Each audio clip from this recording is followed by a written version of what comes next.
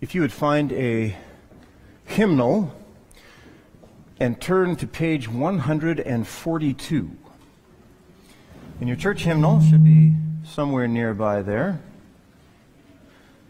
Number 142, and there you will find a beloved Christmas carol entitled Angels We Have Heard on High. This will be our text for this morning.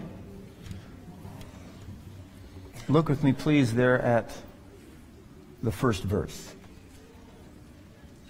Angels we have heard on high, singing sweetly through the night, and the mountains in reply, echoing their brave delight. Most of the time, when we sing praises to God, I think it's safe to say that we sing them during the day. Uh, there's probably a number of reasons for that. Uh, we have church services, generally speaking, during the day all over the world when we are singing praises to God. Generally, the, the lights are on, but there's ambient light outside. If you're outside without a flashlight, it's nice to have some sun to read the words in your book by. Generally speaking, we sing praises to God during the day. But there are some notable exceptions. In fact, can, can you think of a notable exception of when people sang praises to God in the dark in the New Testament? I think I heard it. Paul and Silas. Probably the one that stands heads and shoulders above all, all of them there. Paul and Silas. If you, if you remember the story, Paul and Silas, uh, long story short, persecuted for their faith, thrown into jail, not just any jail, but into the inner sanctum, as it were, of that uh, its maximum security portion of this prison. There they are. They have been severely beaten. They are dramatically injured physically. Their feet are in the stocks, and they sing. They sing. And there in that dark place, my guess is the last thing that any of the other prisoners expected to hear was someone, anyone, singing praises to God. And the effect, well, you might say it was earth shaking. I suspect that is why the angels sang at night. It's true, that's probably when Jesus was born, and so of course, you know, if you're going to announce this, you, you, you sing at the time, right? But I, I think there's more to it than that. In my mind's eye, I think that when the sun had long dipped over the horizon, there, be, there came this extreme contrast between the darkness of the night and the darkness of the world in which people lived in those days, and the brightness of those angels singing sweetly through the night. And surely, of all the lessons that it taught, it must have at least taught this one. There is no situation so dark that the good news of Jesus Christ can't brighten it up. And so I'm curious. You don't have to tell me. But just in the quietness of your own mind, be honest. What darkness is it that you face this holiday season? I know this is a time for celebration, and certainly we've done plenty of that, and we'll do plenty more, I know. We'll have family and friends and good times and good food and all of that. But isn't it also true that sometimes it's in the midst of the happiest times that we are also reminded that there is darkness present? For some of you this year, there will be a place at the table that is empty, that used to have somebody very precious to you sitting in it. Some of you this Christmas season will be reminded of the dramatic turn of events your life has taken financially. Maybe some relationships have fallen apart that you thought never would. Maybe there are circumstances that, whatever else you might call it, yeah, you could say it's darkness and it's here, even during the Christmas season. Whatever the darkness is that you face, I want to encourage you to let the concert on the plain of Bethlehem remind you. The glorious peace that Jesus can bring still breaks through the darkest of nights, even yours. And the holidays, maybe when you look around and it just looks like everybody else is having such a good time, and yet in your heart you feel that darkness is still there. Please, please remember that light that shone long ago, 2,000 years in fact, is still shining just as bright, and it can still shine for you as well. Let's sing about it. Take a look at verse 1.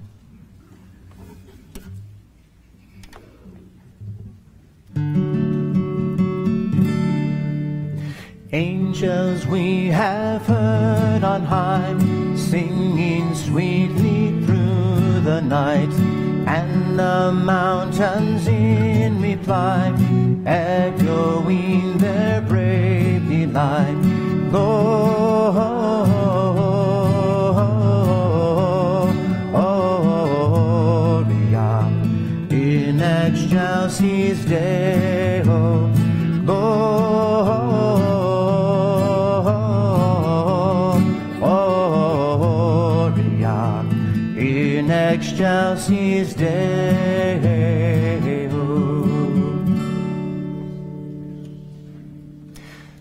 Shepherds, why this jubilee? Why these songs of happy cheer? What great brightness did you see? What glad tidings did you hear? Don't know if you've noticed, but uh, Christmas today is a global affair. All over the world, you will find people doing some sort of recognition that this is the Christmas season. Uh, even in countries where uh, Christianity is not the predominant religion, you will still find, in fact, I just saw an article this week of the uproar that is taking place in Israel because someone set up a Christmas tree in one of the malls there. It's pervasive stuff. Uh, You'll find it almost anywhere. At the very least, someone is making money, and it's probably not us, over the Christmas season. People are buying gifts, people are setting up trees and buying stuff that they don't need to give to somebody who doesn't want it. Isn't that amazing how it works? But that's economic democracy. All over the world, Christmas, in some form or another, is being recognized. It is indeed a global affair. But the truth is that the first Christmas, the very first one, was not a global affair, but a very private one. You say, well, wait a second, we just, we just, we're singing about these angels. I mean, it's hardly, hardly a private thing. Are you, are you sure? If you read the story carefully, did you notice that apparently not even the residents of Bethlehem heard? Because what do the shepherds have to do when they go back? Hey, did you know? Did, you, did you hear about it? Apparently, whether it was a lack of uh, acoustical reception or heart reception, we don't know, but apparently this was a private concert with those shepherds. Now let that sink in for a moment. At some point along the way, after the angels, after the last note dies away, and these guys stand up and realize what, what, what, what has just happened, at some point, they must have felt immensely honored. I mean, how could you not? I mean, you're a shepherd. You're not exactly at the top of the totem pole in, in Jewish society, right? You're out here. You're making your way. This is how you make your living. It's night. It, you know, potentially a little cool out there. This, this is. There's nothing uh, that is that's opulent or uh, amazing, wealthy, or prestigious about what you're doing, and yet heaven's choir came to no one else but you. Wow. I mean, this is more than just the kind of stuff that you save to tell your grandchildren. I mean, this is, this is life-changing stuff. You see, you see when, when greatness gives us a private audience, it means something to us. Now, I confess there's not too many human beings that I would put in the great category. Uh, I just wouldn't. and, I, and I haven't been in the company of too many what I would call great people. Okay? The greatness, I think, probably mostly resides with God Himself. When we take it, it just gets, it, it's messy. Things happen people get hurt. But I do recall a few situations in my life when I had at least a tiny brush of what it might have been like. Some of you may recall, I, I've shared the story with you of, uh, let's see, this would be 19 years ago now, in the last millennium. I was uh, a young adult at that time. and I was part of a young adult crew that was putting on a, a national, yea, verily, an international young adult ministry convocation called Connections 99. And uh, I had spent most of, I, would lived all over the place, but I spent most of my life on the West Coast, and now here we were, we were going to, to do this ministry conference, and we were going to do it at the General Conference of Seventh day Adventist in Silver Spring, Maryland, in the heart of the beast itself. Now, let me tell you why I say that. I don't believe that now. Uh, I'm rather a fan these days. But at the time, you know, Gen Xers, when, we, when, when uh, Generation X is born, the doctor injected into each one of us an anti authoritarian bent. And it's a cross that we must bear for the rest of our lives. And so at that point in my life, when it was first suggested, let's go to the GC building and hold our, our, our retreat, I said to myself, I think I even said out loud, who's going to come? Okay. So great was the antipathy in my mind at that time. But they prevailed, and so we had the meetings, and actually it turned out very, very well uh, I don't know, somewhere between two and three hundred young adults came, and indeed international people came in. It was a great thing. Uh, we were focusing on, of all things, the three angels' messages. A radical thing in those days. Who knows? Maybe it is still today. And it went marvelously. The Lord blessed on the final night, Saturday night, in the auditorium at the GC. We were going to have a little ceremony. We had made a special puzzle that said Connections 99 and a bunch of other stuff on it, and everybody was supposed to receive a piece of that puzzle as a symbol of our unity. You know, every, you, you, know, every one of us is a piece of God's puzzle, right? We all need everybody to work together. That was the idea, but we needed someone to distribute the pieces as people came up on the stage. And so someone said, well, let's see, let's see if, if, if some of the brass will do it. And so they, they, they got a hold of the, the North American Division President's Office and, and the GC President's Office, which at that time were in the same building, and, and they called, they said, Would you possibly be able to send down the presidents to help us out? To my shock, they came. Uh, at that time, uh, was Al McClure uh, was NAD president, and uh, Jan Paulsen was the General Conference president. And these two gentlemen come down, and I was programming director, so we went over to a corner of the lobby there, and it's just the three of us. And, and, and so I explained what was about to happen, and, and uh, Elder McClure wasn't quite sure that, that he felt comfortable doing it. He said, Well, Jan, you do it. And Jan said, Well, it's your division. Why don't you take care of it? He says, No, and I'm watching this tennis match go back and forth here. And I remember thinking to myself two things. One, we have a deadline to meet. I sure hope you make up your mind soon. And secondly, even I, in my Generation X angst, thought this thought. Well, this is kind of cool. Just me and the World Church president and the division president here. For a moment in time, I was genuinely honored that these two men, who probably had been through combined more committee meetings than I'll ever have in my entire life. Did, did you know that on Adventist uh, employees' tombstones it says death by committee? I don't know if you're aware of that. Uh, we know how to do committees. We do a lot of, them and here, you know, it's a Saturday night. These guys ought to be home with their shoes off, sitting, you know, reading the paper or something like that. And yet here they were, taking their time out for, admittedly, an important cause. And I was sitting there cueing them on how they're going to do their program. And I thought to myself, this is pretty cool. This is pretty cool. I'm honored that they took the time, just for these few minutes, to be with me and the rest of this group.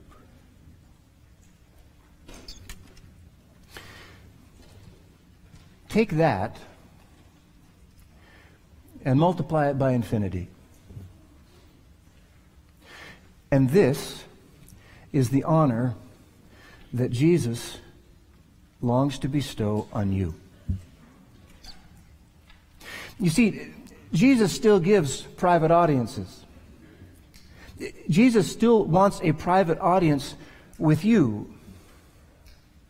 We are told, and rightly so, that if you were the only person on planet Earth, Jesus Christ still would have come and been born and lived and died just for you. If you're the only one on the planet, he would have done it for you. And right now, as always, not just at Christmas, but right now, if you wish, he will give you his undivided attention as though you're the only one in the universe. No wonder those shepherds were jubilant. They had seen a bright hope. They had heard the glad tidings that, though intended for the entire world, were also intended just for them. just for me, just for you. I think that's awesome. Let's sing about it. Verse 2. Shepherds, why this jubilee? Why these songs of happy cheer? What great brightness did you see? What glad tidings did you hear? Gloria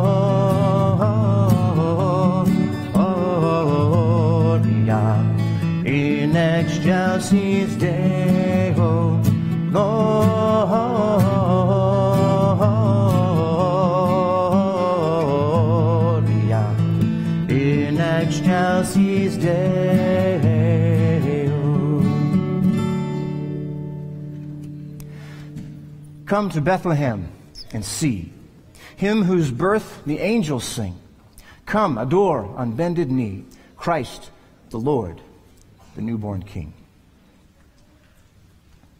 All right, we're going to start with the, the easy question first. How many of you have been born? Okay, those of you that didn't raise your hand, maybe a call home this holiday season may help you to clear up some confusion that you may have been having uh, in your lives. Uh, for those of you that have, second question, a little harder. How many of you remember what it was like? Uh, very few, very few.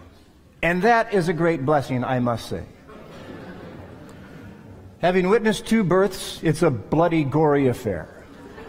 It's not something you want to remember well. Why start life with trauma, right? It's hard enough. You don't need to start with, you know, World War III right there. Your first, you know, it, it's just not, it's, it's not good.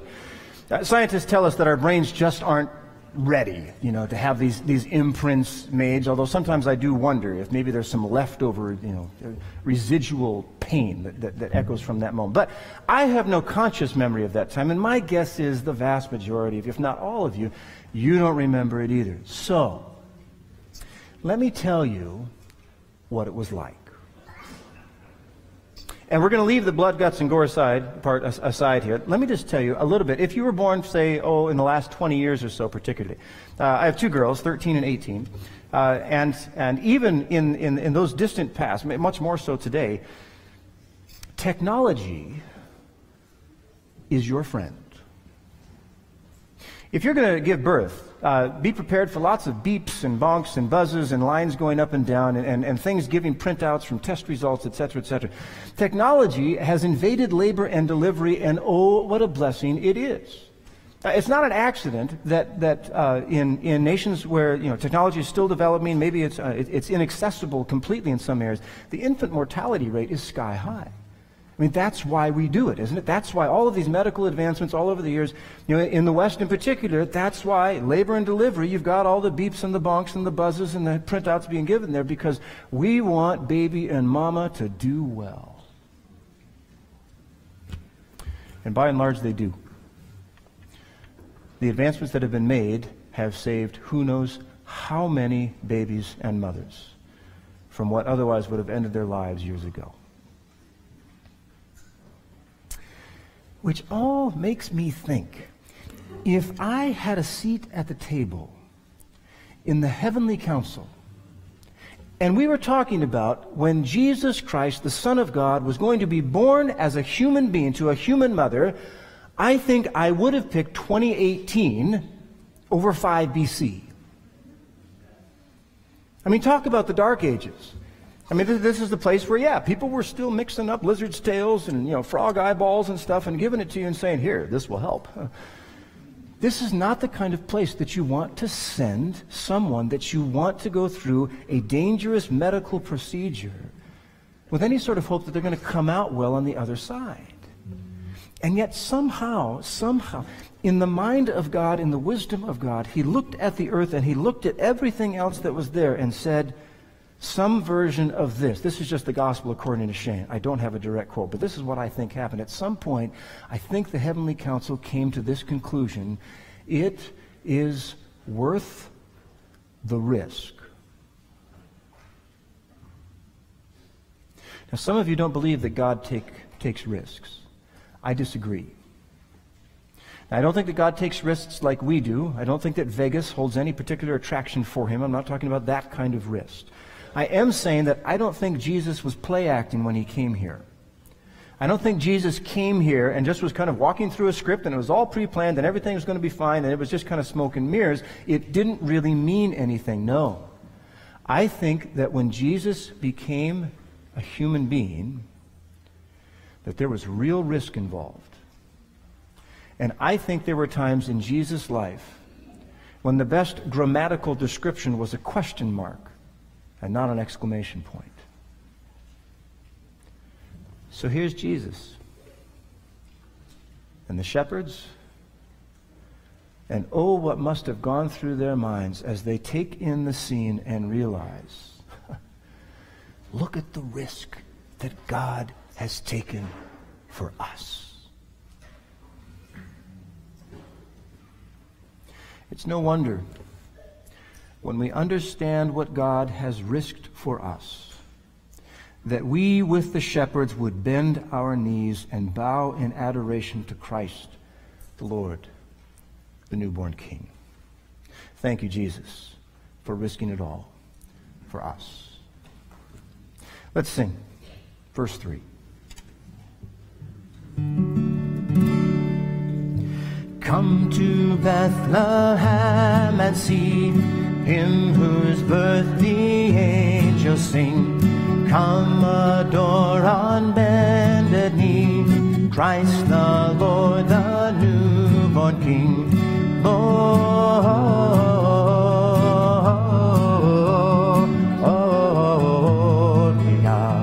in excelsis Deo.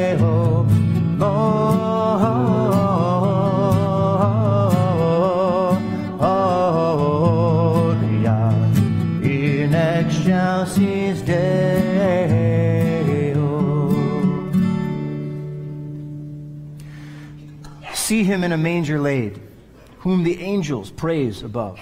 Mary, Joseph, lend your aid while we raise our hearts in love. Y'all know what a manger is, right? If you've spent any time around the Christmas story, to be honest, if you've spent any time around the valley, uh, you know what a manger is. It's, it's the place where the food is for the animals. Uh, we still use them today. Uh, one branch of my family has a couple thousand acres in Oklahoma, and yes, indeed, you will find mangers scattered here and there where they are needed. Mangers for cows. Uh, some of the mangers have, have wheels on them, even, so they can be transported from place to place. Uh, my grandma keeps a, a, horse out in the barn as a, as a manger for the food there. Uh, that's pretty normal, and it happens the same way. The use of a manger is pretty much the same today as it was 2,000 years ago. Now, generally, when the Christmas story is told, much is made of the condescension of Christ in coming to a stable. And I get it, I agree. Eh, the, the, place that Jesus deserved to be born was you know, in a palace or something like that. But he's born in a stable, and we do, we, we, we make much out of this condescension. He comes to this place that, that probably reeked of, of animal waste, manure, rotten food, etc. All of that's probably true, and as such is worthy of our admiration. But I would caution you don't include the manger in that messiness. You say, how do you know? Well, a couple of things.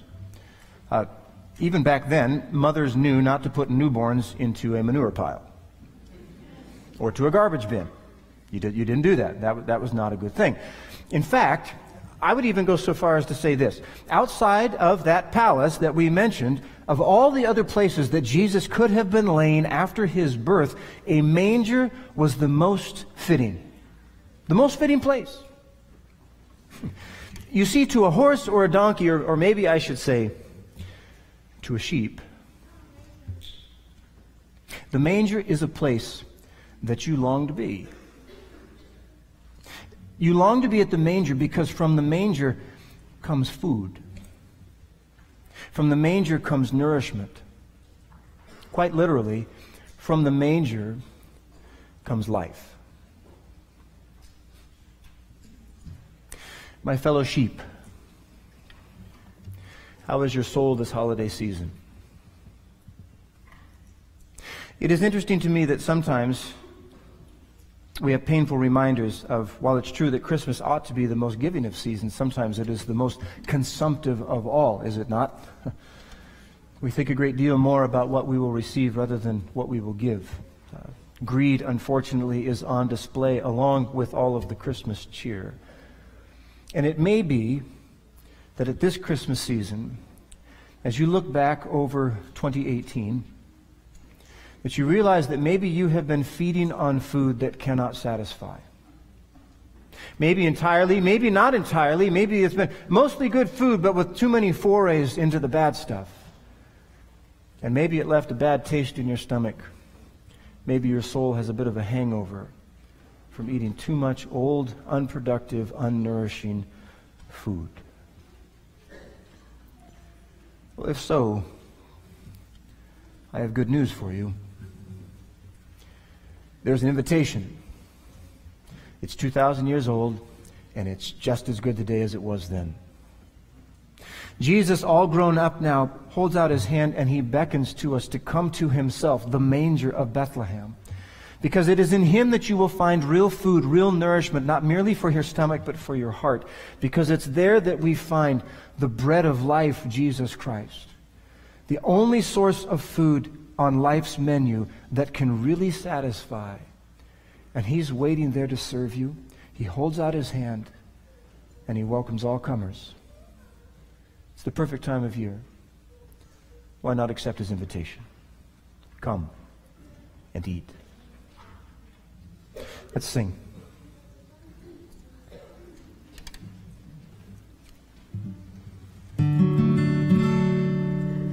See him in a manger laid, whom the angels praise above. Mary, Joseph, lend your aid, while we raise our hearts in love. Gloria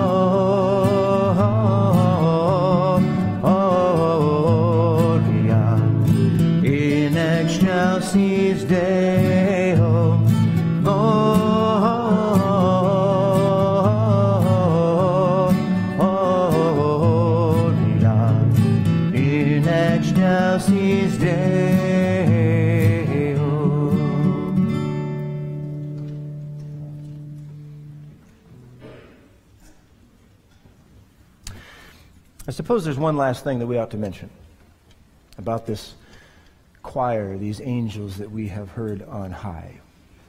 And here it is. Did you know that someday, and I pray it will be soon, we will hear that same choir again? The same one. We will hear it again.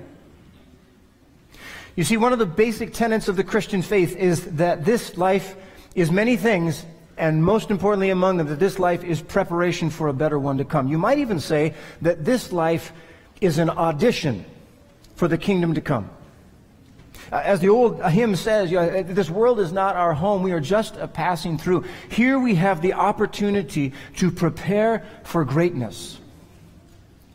And for all those who audition for this coming kingdom, for all those who choose Christ as their Lord and Savior, someday soon those clouds will open, the sky will part, Christ will return, and with him will be those very same angels that were singing on that plain 2,000 years ago. The same ones.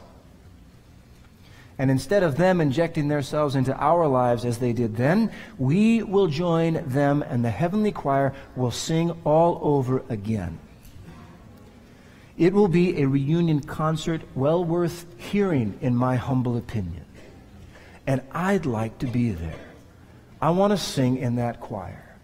I want to stand there with those shepherds made new, raised from their graves, singing with all of our hearts as Jesus comes and puts an end to all of the sin and degradation and pain.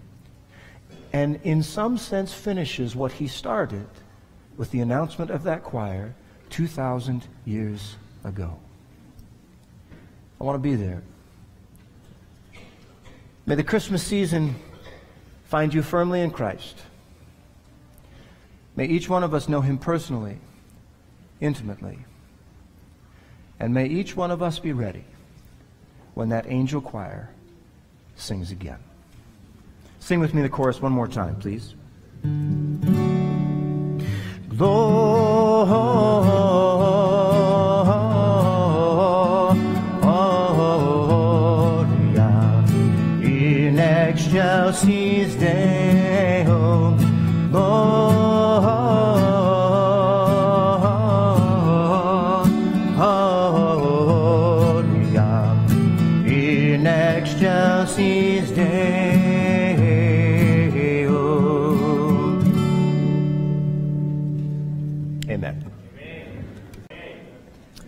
Amen and amen, Lord. We are so grateful for what you have done for us. Jesus, thank you for coming. We owe you our very lives and give you glory this season.